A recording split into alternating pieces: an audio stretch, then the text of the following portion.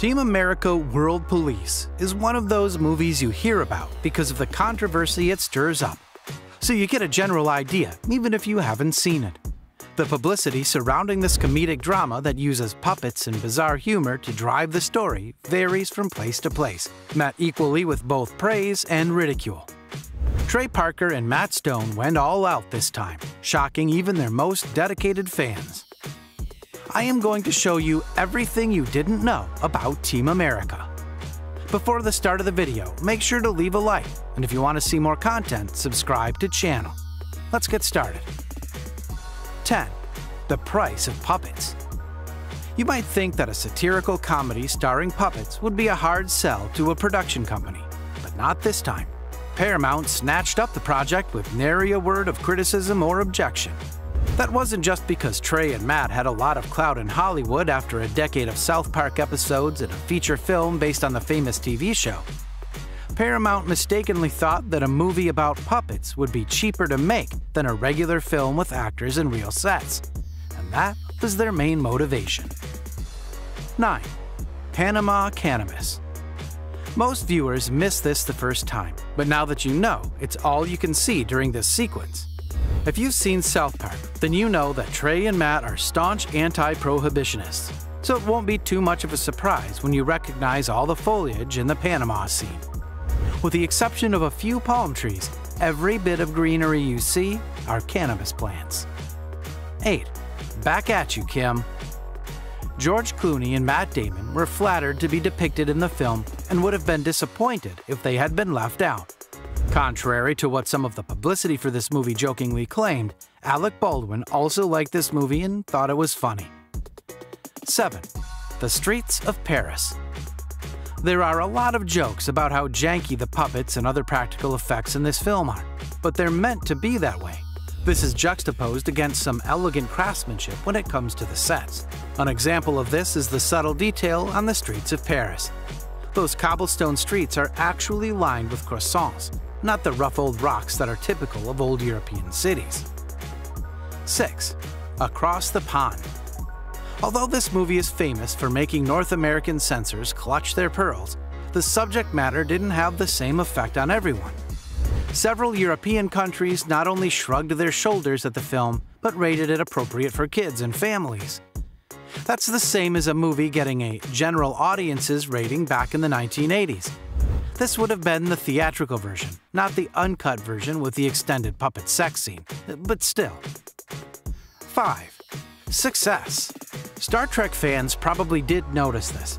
In the scene when the Film Actors Guild decides to join forces with Kim Jong il, they raise their fists triumphantly and cry the word Qapla'. This isn't an ancient battle cry, but a Klingon word that means success. Trey and Matt love Star Trek, and that shows through in their work. In fact, the puppet sex scene was written in an effort to distract censors from the other questionable material in the script, a tactic that Star Trek writers frequently used to skirt the censors of their time, such as when they wrote Kirk and Uhura's interracial kiss. 4. Practical effects. Here's an interesting degree of separation. Bill Pope was the director of photography for Team America World Police and he took the job because he wanted to do something completely different from his previous movies. And what were those? None other than the first two Matrix movies and Spider Man 2, films that relied heavily on green screen and computer generated effects. There's virtually none of that in Team America World Police, which uses practical effects. When Pope said he wanted a change, he wasn't kidding. 3. Swearing in Russian. A shout out here to independent translator Dmitry Puchkov, who gave the people of Russia a rare and authentic experience when he translated this film. Most foreign films are heavily censored, as opposed to translated faithfully in Russia, and this is one of the few that was distributed with little alteration. The curse words are the best example, carefully replaced with their Russian equivalents, as opposed to just cutting them out.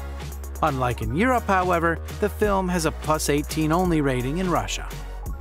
2. Team America After Tomorrow.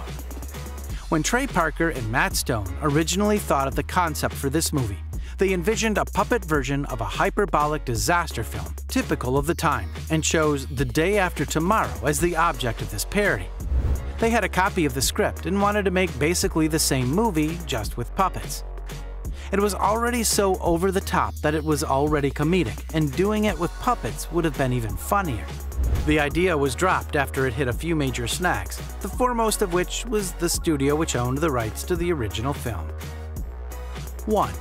From My Cold Wooden Hands One of the funniest characters in Team America World Police is Spotswood, Gary's mentor, voiced by Daran Norris. His lofty diction fits the character perfectly, and Norris didn't just pull that notion out of nowhere. The main target of ridicule in Team America is big budget special effects driven films, but those are hardly new.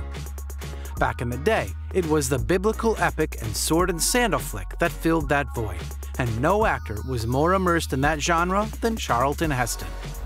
Norris used Heston as his inspiration for the voice of Spotswood, and it works brilliantly. Thanks for watching, guys. If you enjoyed this video, smash that like button, subscribe to channel, and turn on post notifications to see more of our future videos. With that said, keep enjoying our videos and I'll see you in the next video.